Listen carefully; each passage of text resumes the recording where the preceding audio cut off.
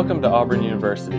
We are a group of geography and natural resource students who embarked on a journey to Panama to study water resources, environmental management, and climate change issues within the Panama Canal watershed.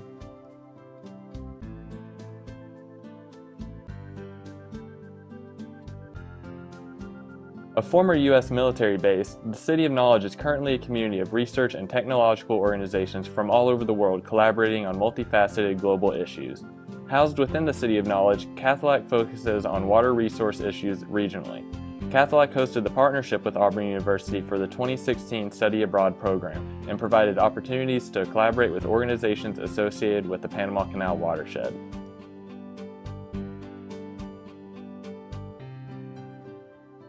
The primary reservoir of water for the Panama Canal Gatun Lake is 425 square kilometers and has recently exhibited extreme water level loss due to a combination of environmental impacts from El Nino and possibly climate change.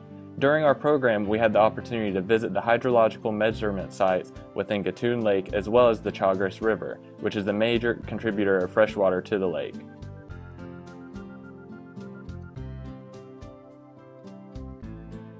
Lying within the Panama Canal watershed, the Chilibre community is an impoverished region resulting from rapid urbanization and is currently receiving foreign investment from organizations such as the World Bank in order to improve living conditions.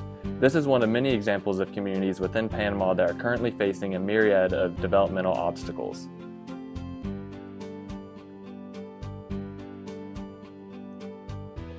In comparison, although rural, the Ciri Grande community illustrates positive impacts following the involvement and leadership of the Panama Canal Authority, who provide educational and economic incentives to sustainably manage the lands of the watershed. The sense of community pride and ownership resulting from participation in the incentive program was apparent when meeting with local residents and hearing their personal accounts.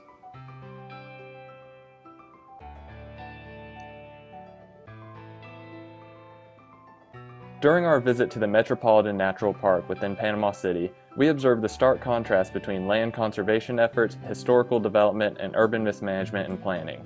From the highest point in the park, the entire city was in full view, which made obvious the issues with development and income inequality.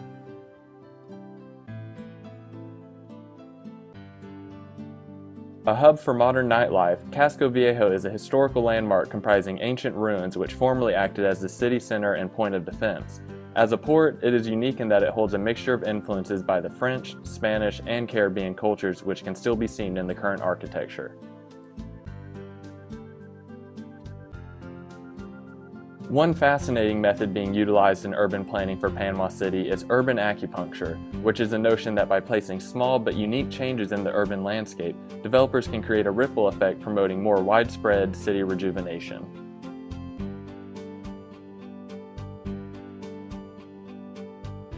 Situated on the Pacific side of the Panama Canal, the Miraflores Visiting Center serves as the main tourist attraction for observing the Miraflores locks of the canal. Within the visiting center, guided tours are provided through the museum, which allows visitors to learn about the rich history of the construction, operation, and impacts of the Panama Canal. The Miraflores Treatment Center is one of the main water treatment facilities in the country of Panama, and the water from this center serves a large portion of the city's population. Drawing water from the Gatun Lake, this treatment center is highly concerned with water management within the Panama Canal watershed.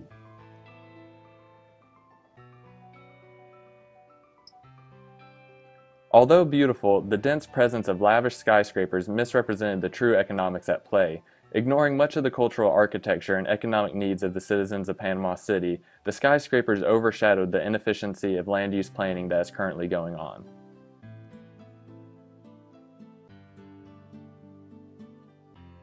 And lastly, protected by dual 17th century Spanish forts, the town of Portobelo is located in the Colon province and is home to a prominent Afro-Panamanian community. Portobelo is a stark contrast between 17th century Spanish architecture, such as the Church of San Felipe, and the more common colorful Caribbean structures. Portobelo has access to some of the Caribbean's most beautiful and uninhabited beaches only accessible by boat. The Afro-Panamanian community illustrated a unique fusion of African and Spanish cultures, as well as captured the long-term impacts of the Atlantic slave trade. I really enjoyed learning about various environmental and economic programs that are being implemented in Panama, as well as interacting with Cathalac to gain an insider's perspective. maybe the aha moment of my trip to Panama was actually being there and seeing the extent of the canal uh, is necessary to really understand what it's about. You know, when you look at a map in your like social studies or geography class, it's just a little slit.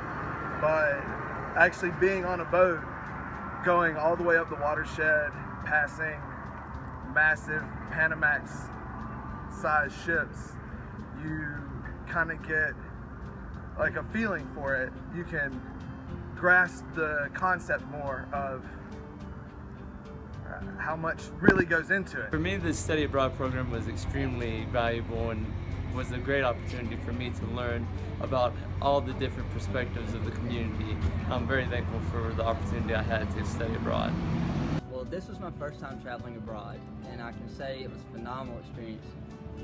Learning about other people and different cultures uh, was very enlightening. And one particular instance, uh, through our time with Cathalac, they collaborated with the uh, Panama Canal Authority.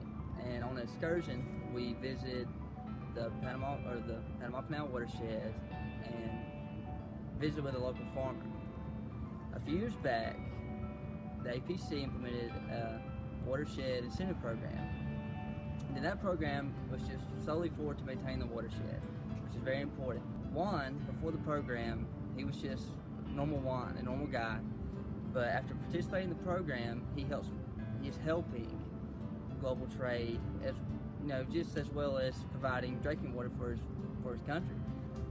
So uh, I study a lot of conservation, agriculture, and soil science, and watershed management in general.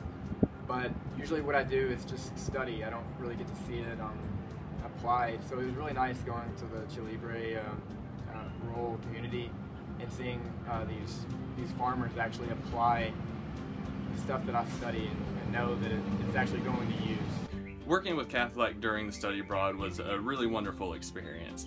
Uh, getting to witness firsthand the positive impacts they have in the region really showed me the power that a strong network of researchers and collaborators can have if they share a common goal. If given the opportunity, I would definitely love to work with them again in the future.